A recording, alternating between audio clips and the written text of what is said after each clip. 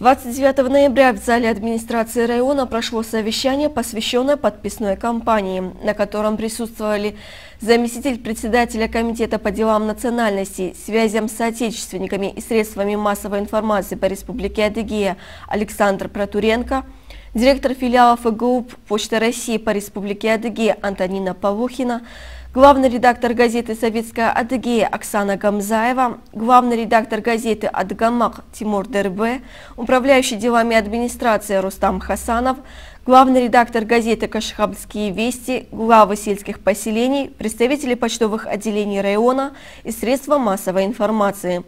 Вел совещание первый заместитель главы района Руслан Ямыков – который отметил, что Кашхабльский район всегда уделяет особое внимание подписной кампании. В этом году она так же, как и в предыдущие годы, должна пройти эффективно, говорит он. Далее слово было предоставлено заместителю председателя Комитета по делам национальности, связям с отечественниками и средствами массовой информации по Республике Адыгея Александру Протуренко. Хотелось бы обратить ваше внимание на то, что наряду с теми проблемами, которые существуют у нас, Хотелось бы несколько заострить ваше внимание на тех задачах, которые стоят перед нашими двумя республиканскими газетами «Советская Адыгея» и «Адыгема».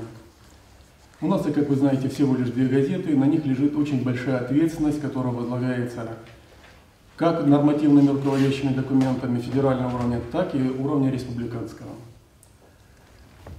Одни из приоритетных задач, которые сейчас стоят перед нашими задачами в настоящее время – это публикация материалов и формирование общественного мнения по противодействию экстремизму, проявлениям экстремизма и терроризма. На этой тематике огромное количество материалов, сотни материалов, хочу сказать, за этот год уже вышли на страницах республиканских газет. Поэтому большая ответственность лежит на главных редакторах как в плане общественной, так и в плане политической.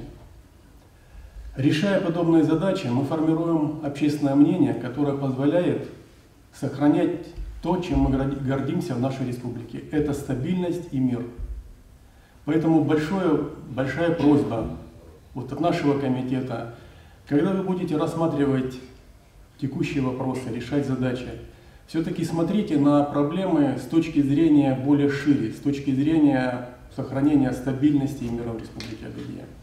Кроме того, хотелось бы еще отметить, что Кашхабльский район традиционно является районом, который ну, не, не из числа отстающих. Находится в порядке, в передовых рядах по подписке.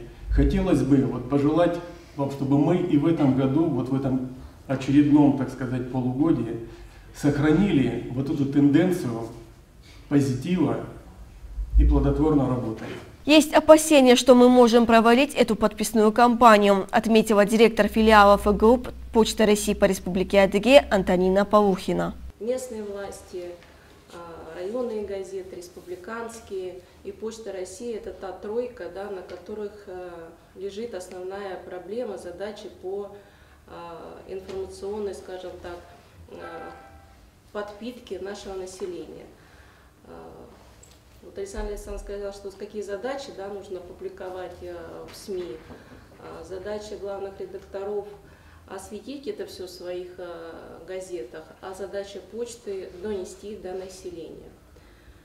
А, подписная кампания на первое полугодие 2017 года дается очень сложно, хотя она всегда это сложная э, задача по подписке, но вот это полугодие особенно сложно. Мы, Почта России по Республике Адыгея, на протяжении двух лет занимали лидирующие позиции в России. Мы были в тройке лучших по подписной кампании по всей России. Это очень отрадно. У нас есть э, благодарности, есть э, кубки. Вот мы такая маленькая республика, а тем не менее на фоне там Свердловской области, Новосибирской области мы были в тройке лучших.